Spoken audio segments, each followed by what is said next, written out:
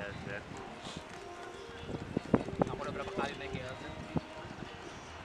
standar lah naik GLZ dan eh, apa stiker 150 ribu. Eh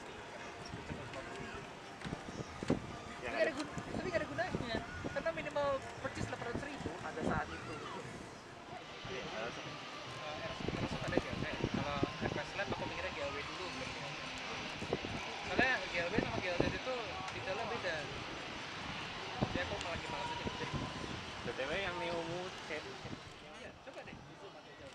Coba lihat list jendelanya dia warna berapa. Bisa tuh. Nggak tahu. serem banget tuh kayak penjamuran gitu Nggak, kuning itu bekas base base tasnya. Kalau nyawa dia biru. Eh, tuh nas yang landing